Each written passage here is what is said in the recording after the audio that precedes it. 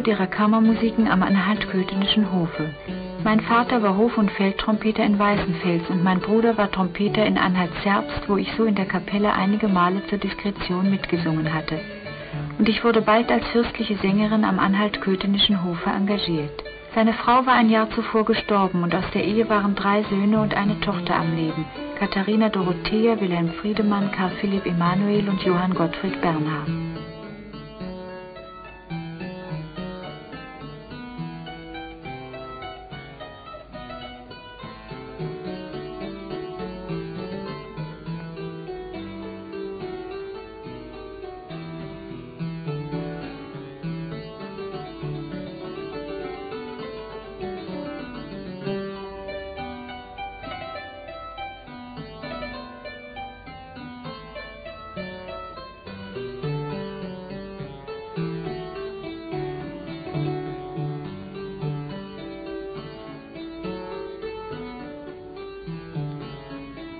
Für Friedemann hatte der Vater ein Klavierbüchlein angefangen, worinnen nach anderen Übungsstücken weitere Stücke kamen, aus denen bald zwei besondere Werke wurden zum Nutzen der lehrbegierigen musikalischen Jugend.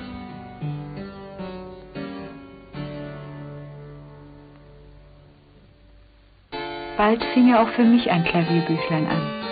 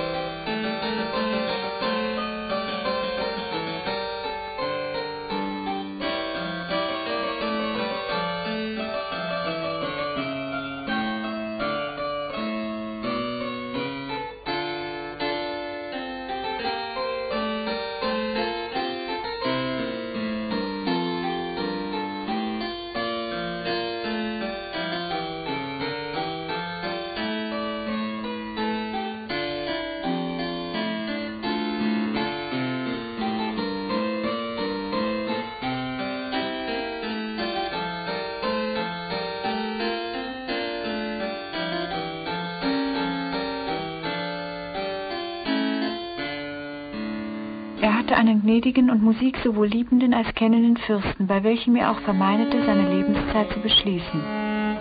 Es musste sich aber fügen, dass dieser Serenissimus sich mit einer bärenburgischen Prinzessin vermählete, da es denn das Ansehen gewinnen wollte, als ob die musikalische Inklination bei ihm in etwas Laulicht werden wollte, zumalen da die neue Fürstin schiene eine Amusa zu sein.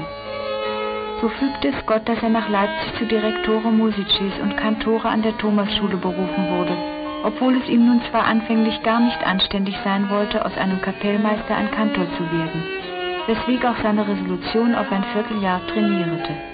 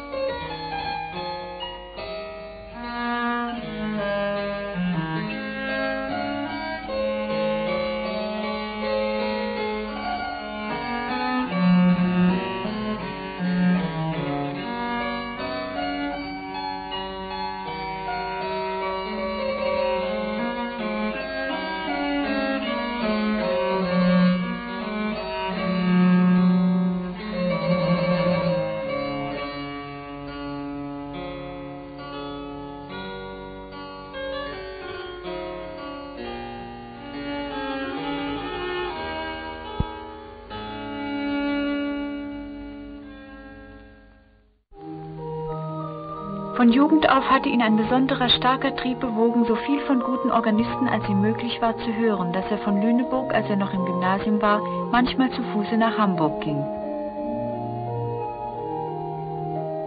Und er war kaum 18 Jahre alt zum Organisten an der neuen Kirche in Arnstadt berufen worden. Von dort tat er einstmals, und zwar zu Fuße, eine Reise nach Lübeck, um den dasigen berühmten Organisten Herrn Dietrich Buxtehude zu behorchen.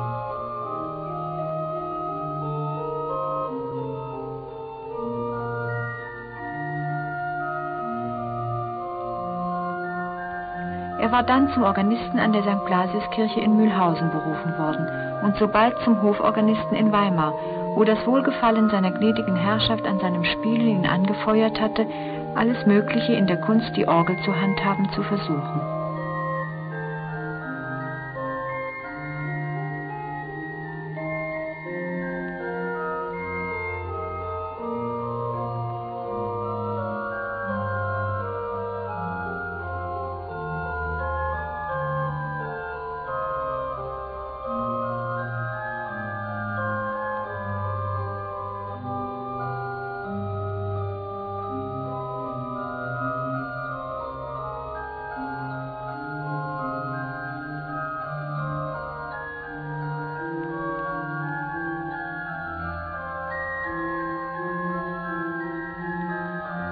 Kannte auch den Bau der Orgeln aus dem Grunde und war einmal von der Universität zu Leipzig eingeladen worden, die neue große Orgel der Paulinerkirche zu untersuchen. Als Kantor aber hatte er keinen Organistendienst. Er war der erste obere Lehrer an der Thomasschule nach dem Rektor und dem Konrektor. Und demnach aus dieser Schule die Musik in vier Kirchen der Stadt, wie auch auf Hochzeiten und Begräbnissen bestellt wurde, so sollte er allen möglichen Fleiß anwenden, damit die Knaben, welche zum Singen geschickt und in der Musik etwas prestieren konnten, darinne wohl abgerichtet wurden. In die neue Kirche und in die Petrikirche kamen die Knaben, die weiter nichts als Motetten und Choralen zu singen hatten, und in die zwei Hauptkirchen, St. Tomi und St. Nikolai, diejenigen, die mit anderer Konzertmusik zu tun hatten.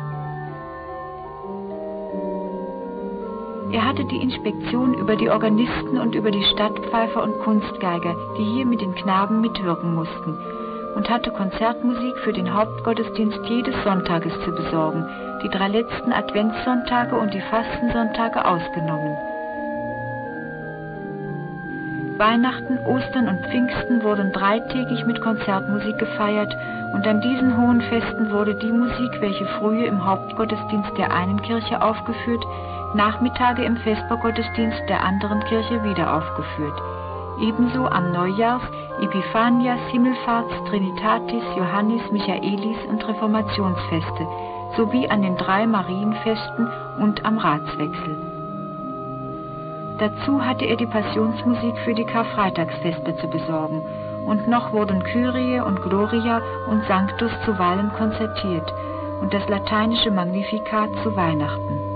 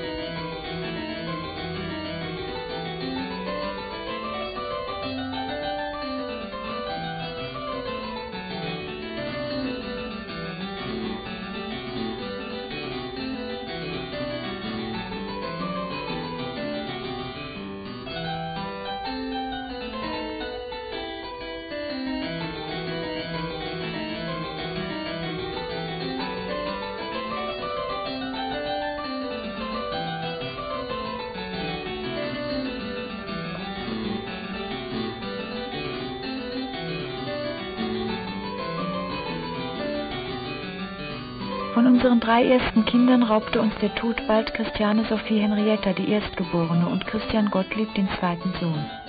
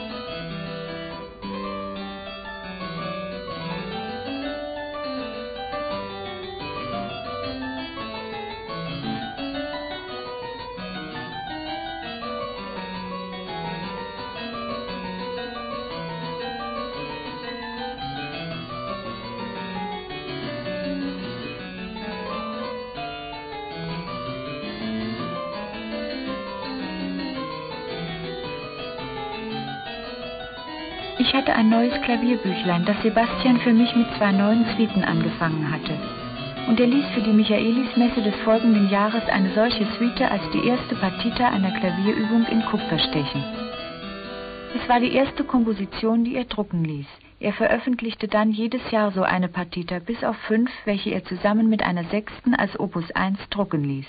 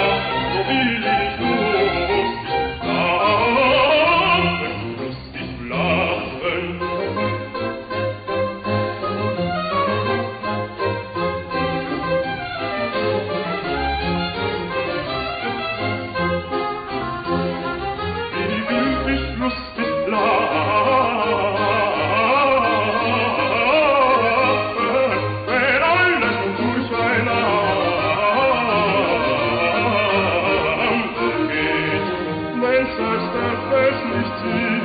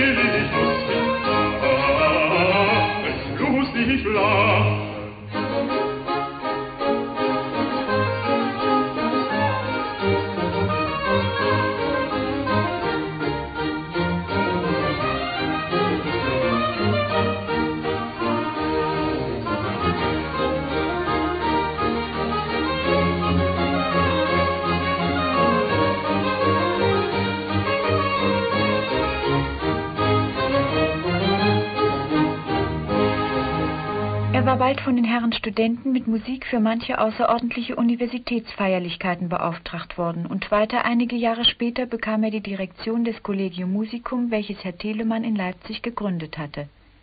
Als der Herr Student von Kirchbach ihn aber mit einer Trauermusik für die verstorbene Königin Christiane Eberhardine beauftragte, erhob der Organist zu St. Nikolai, Herr Görner, der die Direktion des neuen Gottesdienstes an der Universitätskirche hatte, Einspruch bei der Universität, und die Universität wollte Sebastian nur als eine bloße Begünstigung gestatten, seine Musik aufzuführen.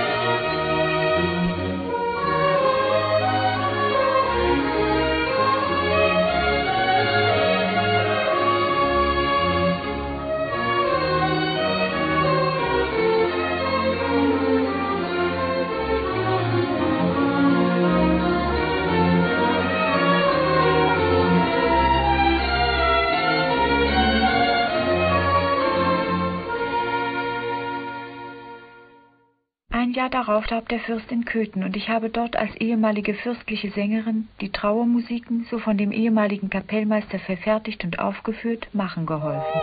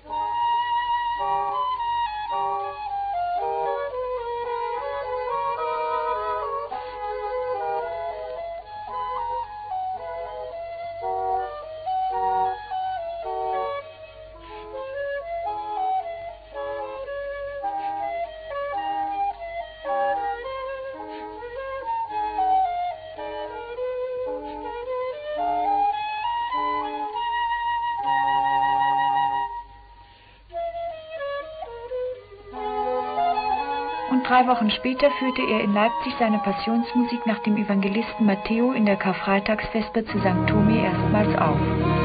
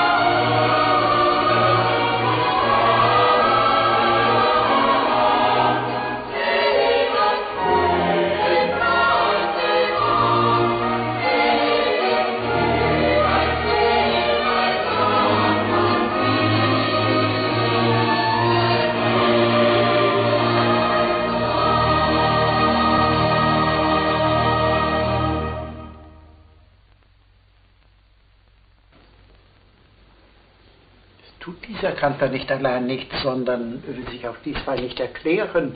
Äh, die Singstunden nicht und es kommen auch andere Beschwerden dazu. Änderung wird nötig sein. Es muss doch einmal bringen.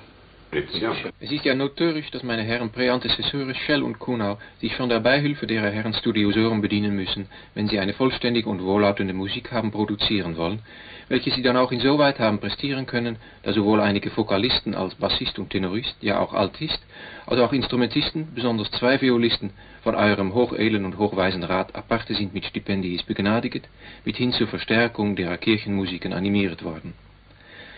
Da nun aber der itzige Status musicis ganz anders weder ehedem beschaffen, die Kunst um sehr viel gestiegen, der Gusto sich verwundernswürdig geändert, dahero auch die ehemalige Art von Musik unseren Ohren nicht mehr klingen will und man umso mehr einer erklecklichen Beihilfe benötigt ist, damit solche Subjekta schwasiert und bestellet werden können, so den itzigen musikalischen Gustum assequieren, die neuen Arten der Musik bestreiten, mithin imstande sein können, dem Kompositori und dessen Arbeit Satisfaktion zu geben, hat man die wenigen Beneficia, so eher hätten sollen vermehrt als verringert werden, dem Coro Musico gar entzogen. Es ist ohne dem etwas Wunderliches, da man von denen deutschen Musicis prätendiert, sie sollen kapabel sein, allerhand Arten von Musik, sie kommen nun aus Italien oder Frankreich, Engeland oder Polen, sofort extempore zu musizieren, wie es etwa diejenigen Virtuosen, vor die es gesetzt ist, und welche es lange vorher studiert, ja fast auswendig können, über dem auch Gott notandum in schweren Solde stehen, deren Mühe und Fleiß mit ihnen reichlich belohnet wird, prestieren können man solches doch nicht konsiderieren will, sondern lässet sie ihrer eigenen Sorge über, da denn mancher vor Sorgen der Nahrung nicht dahin denken kann, um sich zu perfektionieren, noch weniger zu distinguieren. Mit einem Exempel diesen Satz zu erweisen, darf man nur nach Dresden gehen und sehen, wie da selbst von königlicher Majestät die Musici salariert werden. Es kann nicht fehlen, da denen Musicis die Sorge der Nahrung benommen wird, der Chagrin nachbleibet, auch über dem jede Person nur ein einziges Instrument zu exkulieren hat, es muss was Treffliches und Exzellentes zu hören sein. Er hatte dann an einen Jugendfreund, der mittlerweile kaiserlich-russischer Agent in Danzig geworden war, geschrieben. Ihr selbst bin nun nach Gottes Willen an noch beständig.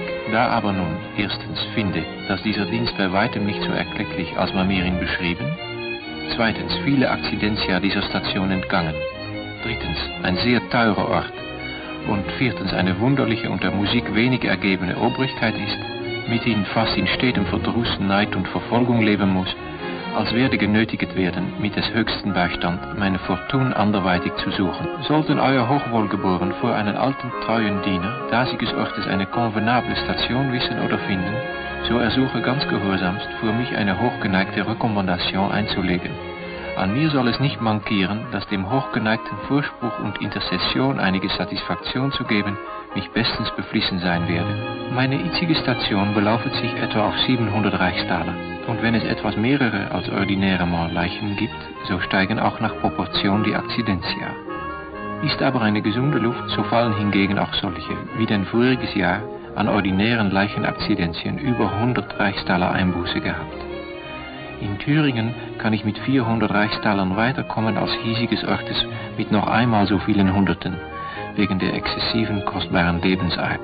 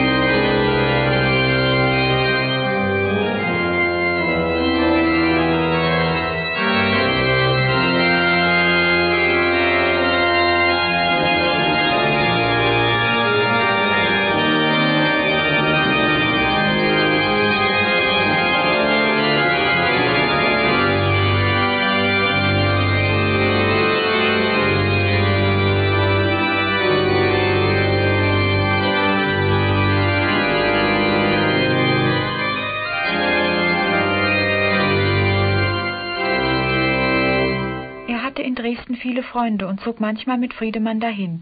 Friedemann wurde bald dort zum Organisten an der Sophienkirche berufen, wo sein Vater einige Zeit zuvor ein Konzert auf der Orgel gegeben hatte. Er wurde auch nach Kassel eingeladen, um die neu eingerichtete Orgel der großen Kirche zu examinieren und in öffentlicher Versammlung zu inaugurieren und nahm mich auf diese Reise mit. Wir hatten eben unsere anderthalbjährige Christiane Dorothea verloren. Und bald raubte uns der Tod noch unsere vierjährige Regine Johanna und den kleinen Johann August Abraham, zwei Tage nach dessen Geburt.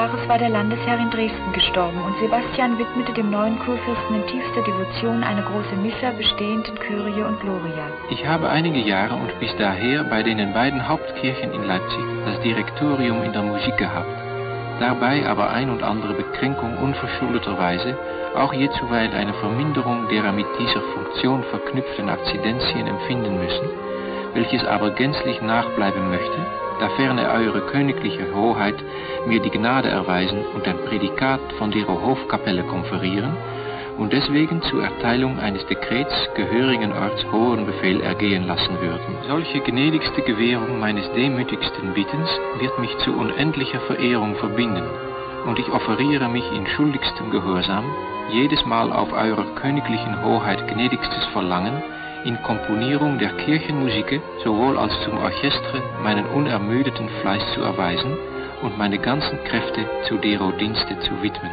Und in den folgenden Monaten gab er mehrere Dramata per Musica und Kantaten zu Ehren des Fürstenhauses.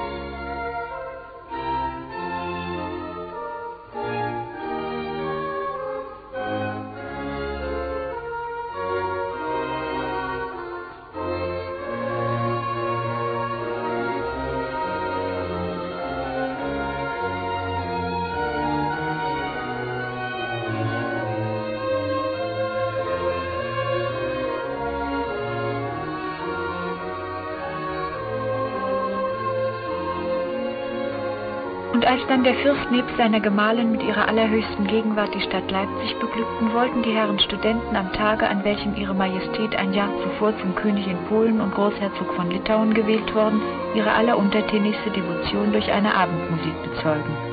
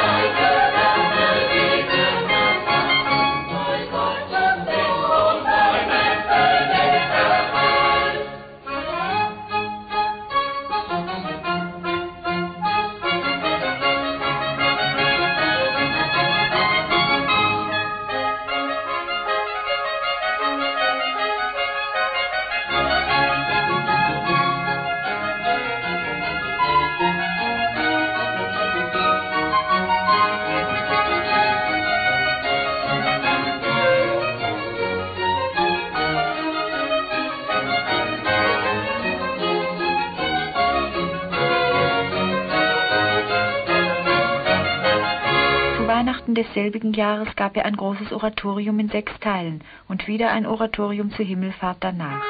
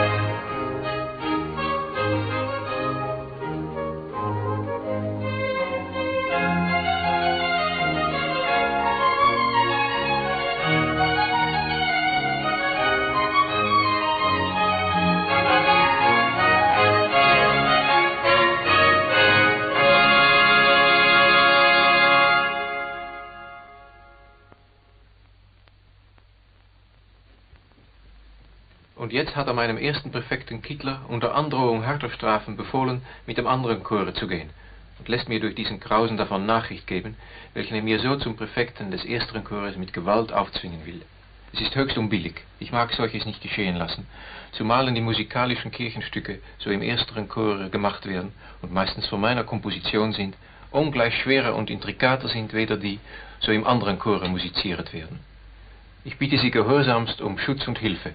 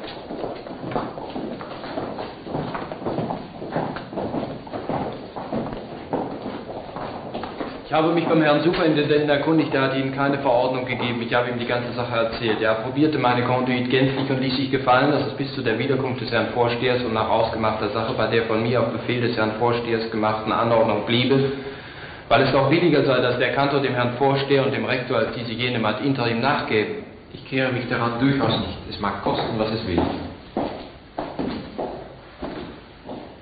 Danach ließ der Rektor allen Schülern bei Strafe der Relegation und Kastigation andeuten, dass sich keiner unterstehen solle, statt des Krausen weder abzusingen noch die gewöhnliche Motette zu dirigieren, so dass in der Nachmittagspredigt zu Sebastians größten Despekt und Prostitution kein einiger Schüler aus Furcht der Strafe das Absingen über sich nehmen, noch weniger die Motette dirigieren wollte. Sebastian hatte jene Woche die Aufsicht im Internat. Alle Augen warten auf dich, Herr und du gibst ihnen ihre Speise zu deiner Zeit. Du tust deine Hand auf und sättigest alles, was lebt, mit Wohlgefallen. Vater unser, der du bist im Himmel, geheiligt werde dein Name, zukomme dein Reich, dein Wille geschehe, als im Himmel auch auf Erden. Unser täglich Brot gib uns heute und verlasse uns unsere Schuld, als wir verlassen unseren Schuldigern. Und führe uns nicht in Versuchung, sondern erlöse uns vom Übel. Amen. Kittler, warum wart ihr Nachmittage nicht mit dem ersteren Chore? Hinaus.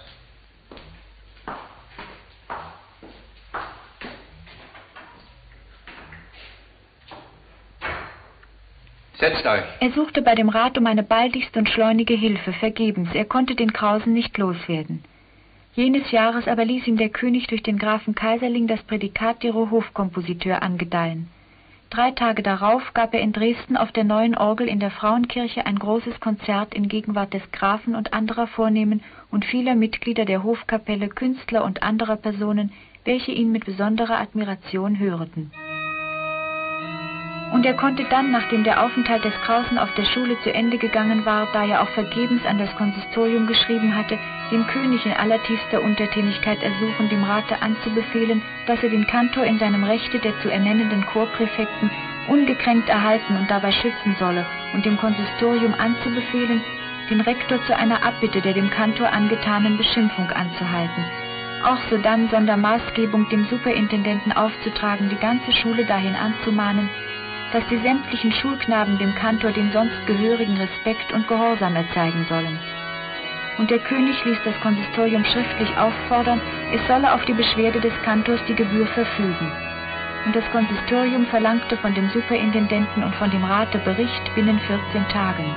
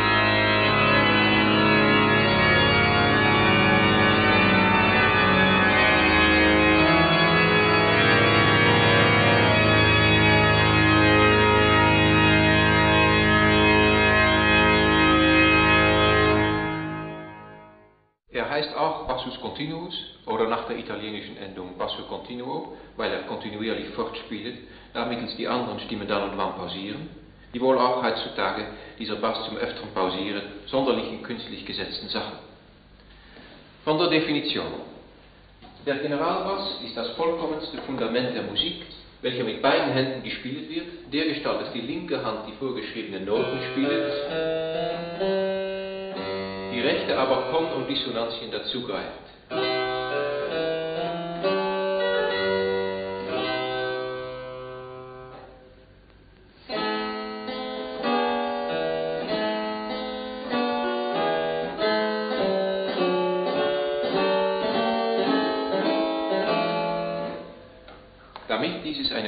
Eine wohlklingende Harmonie gebe zur Ehre Gottes und zulässiger Ergötzung des Gemüts. Und soll wie aller Musik, also auch des Generalbasses Finis und Endursache, anders nicht als nur zu Gottes Ehre und Rekreation des Gemüts sein. Wo dieses nicht in Acht genommen wird, da ist keine eigentliche Musik, sondern nur teuflisches Geplär und Geleier. Alle seine Schüler waren hernach imstande, Gott und der Republik mit Nutzen Dienste leisten zu können, und er suchte alles zu bewerkstelligen, um seiner Kinder wohl befördern zu helfen. Friedemann wurde von Dresden nach Halle berufen, als Musikdirektor und Organist bei der Liebfrauenkirche, deren Posten sein Vater einst erstrebt hatte.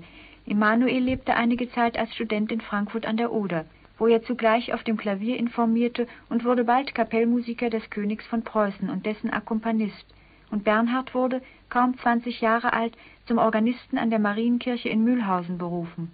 Nachdem aber Bernhard nicht zwei Jahre in Mühlhausen geblieben war, musste sein Vater für ihn nicht alleine den Tisch dort bezahlen, sondern auch einen Wechsel, so seinen Auszug vermutlich damalen kausierte, und auch noch einige Dukaten zur Tilgung einiger Schulden zurücklassen. Und nachdem er ihn dann nach Sangerhausen befördern geholfen hatte, in Hoffnung, die Sangerhäuser zivilisiertere Lebensart und vornehme Gönner würden den missratenen Sohn gleichmäßig zu anderer Aufführung bewegen, musste der Vater mit äußerster Bestürzung abermaligst vernehmen, dass Bernhard wieder hier und da aufgeborgt hatte, seine Lebensart nicht im geringsten geändert, sondern sich gar absentiert, ohne ihm den geringsten Part seines Aufenthaltes wissend zu machen. Da keine Vermahnung, ja gar keine liebreiche Vorsorge und Assistance mehr zureichen wollte, so musste der Vater sein Kreuz in Geduld tragen, den ungeratenen Sohn aber lediglich göttlicher Barmherzigkeit überlassen, nicht zweifelnd, dieselbe werde sein wehmütiges Flehen erhören und endlich nach dem heiligen Willen an selbig arbeiten, dass er lerne erkennen, wie die Bekehrung einzig und allein göttlicher Güte zuzuschreiben. Bernhard aber starb plötzlich in Jena, wo er als Student der Jura immatrikuliert war und bei Herrn Johann Nikolaus Bach, Senior aller noch lebenden Bachen, Organisten sowohl an der Universität als Stadtkirche, wohnte. Jenes Jahres veröffentlichte Sebastian den dritten Teil der Klavierübung, bestehend in verschiedenen Vorspielen über die Katechismus und andere Gesänge vor die Orgel. Den zweiten Teil, bestehend in einem Concerto nach italienischem Gusto und einer Ouvertüre nach französischer Art vor ein Klaviersimbel mit zwei Manualen, hatte er vier Jahre zuvor drucken lassen.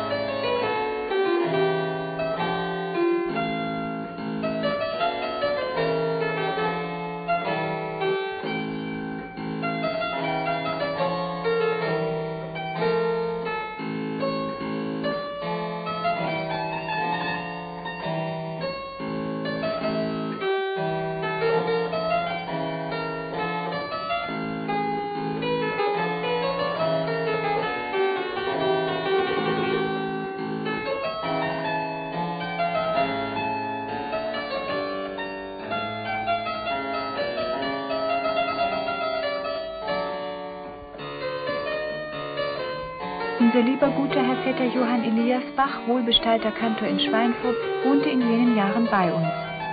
Er war an der Universität zu Leipzig als Student der Theologie immatrikuliert und ließ sich zugleich von Sebastian in der Musik fördern. Und Sebastian hatte ihn mit der Unterweisung meiner drei Söhne Gottfried Heinrich, Johann Christoph Friedrich und Johann Christian beauftragt und der Herr Vetter sollte sie noch zum Tisch des Herrn vorbereiten. Für mich hatte er mehrmals an seine liebe Mutter und Schwester geschrieben, dass sie mir etliche Pflanzen von gelben Nelken überschickten, weil ich eine große Liebhaberin der Gärtnerei war. Und da Sebastian mir einmal referierte, dass er bei einem Herrn Kantor zu Halle einen Hänfling gesehen, welcher durch die geschickte Unterweisung seines Lehrmeisters sich besonders im Singen hören ließe, hatte der Herr Vetter nach Halle geschrieben und diesen Kantor gebeten, seinen Sänger gegen billige Bezahlung an mich zu überlassen. Und da ich mich einmal plötzlich sehr unbass befand, während Sebastian in Berlin war, Emanuel zu besuchen, und man nicht wusste, ob etwa aus heftigen Wallungen des Geblüts gar ein schleichendes Fieber oder sonst eine üble Folgerung entstehen möchte, musste der Herr Vetter mehrmals an Sebastian schreiben und ihn in seiner Ruhe und Zufriedenheit stören, damit er seine Reise beschleunigen möchte.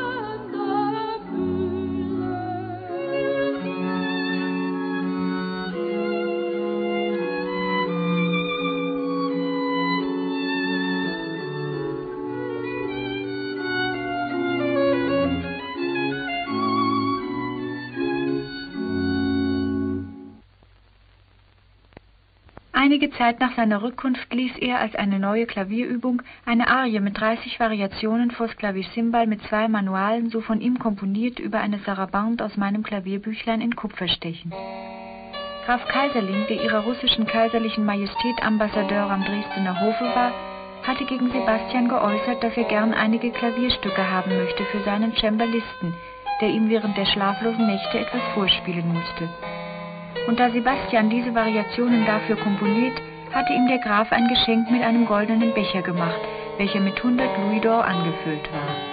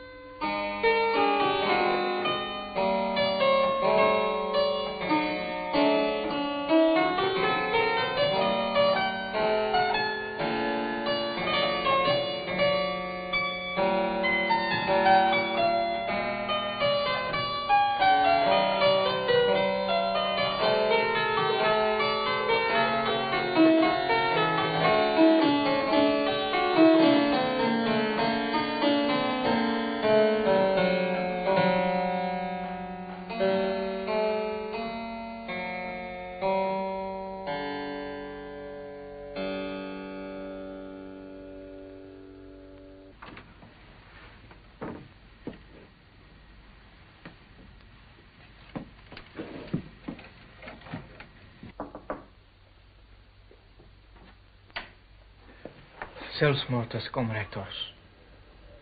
Er hat sich in den Zwinger sogleich hinter der Pastorwohnung an dem Wagnerischen Garten an einer Krause gehangen und ein Ende genommen mit Schrecken. Mein Gott, wann kommt das schöne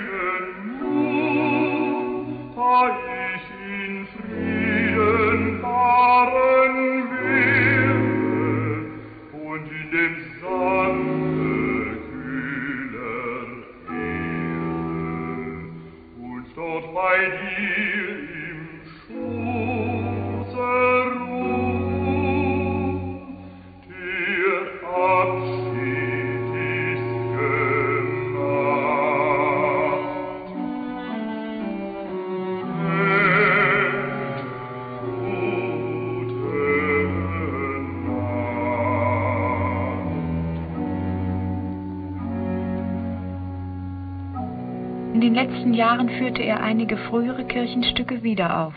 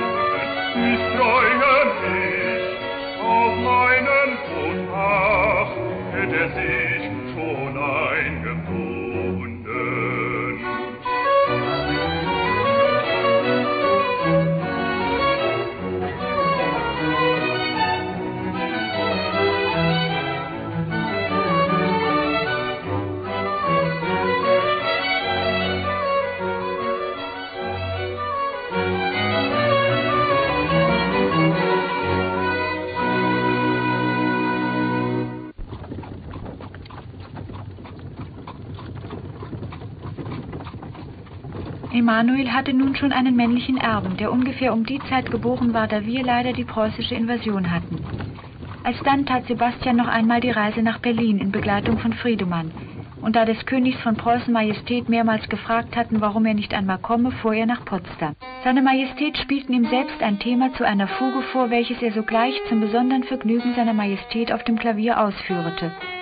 Am Tag darauf ließ er sich vor vielen Zuhörern in der Heiliggeistkirche mit allgemeinem Beifall auf der Orgel hören, und abends verlangten seine Majestät eine Fuge mit sechs obligaten Stimmen zu hören, welches er auch sogleich zur Verwunderung des Königs und sämtlicher anwesenden Tonkünstler bewerkstelligte.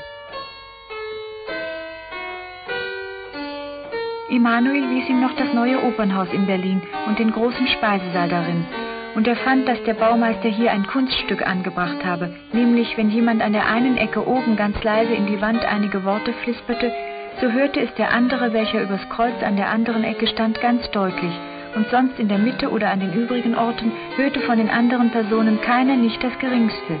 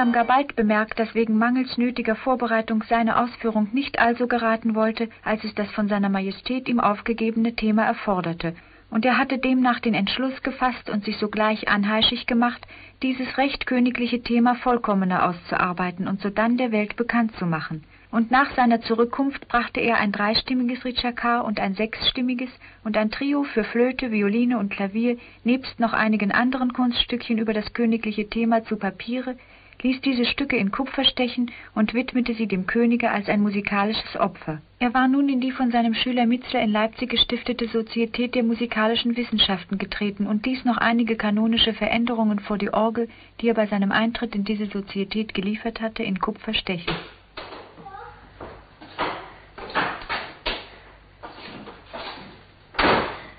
Papa, Papa, es ist ein Verklamott aus Frankfurt gekommen. Ein Geschenk vom Herrn Vetter Elia. Die Entfernung unserer beiden Städte erlaubte es nicht, persönlichen Besuch einander abzustatten. Sebastian wollte sich sonst die Freiheit nehmen, den Herrn Vetter aus Schweinfurt zu unserer Tochter Liesken Ehrentage, so mit dem neuen Organisten in Naumburg, Herrn Altnikol, im Januar vor sich gehen sollte, dienstlich zu invitieren. Da aber auch unbequeme Jahreszeit es wohl nicht erlauben durfte, den Herrn Vetter persönlich bei uns zu sehen, so bat ihn Sebastian doch, den Kindern in Abwesenheit mit einem christlichen Wunsch zu assistieren.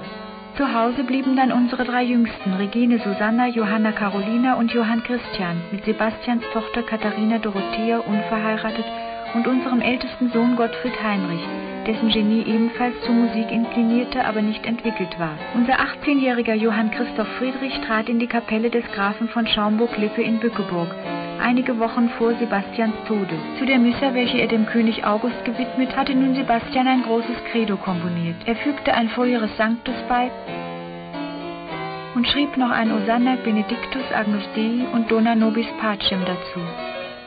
Er hatte noch eine neue Sammlung von großen Chorälen vor die Orgel angefangen und arbeitete seit einiger Zeit an einer Kunst der Fuge, durch welche gezeigt, was möglicherweise über ein Thema gemacht werden könne.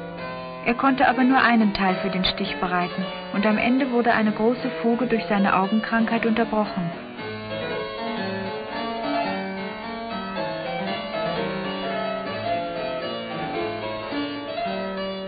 Er wollte diese Augenkrankheit durch eine Operation heben lassen, die musste aber wiederholt werden und verunglückte, so dass er darauf vier Monate lang fast immer kränklich war und sein Gesicht nicht brauchen konnte.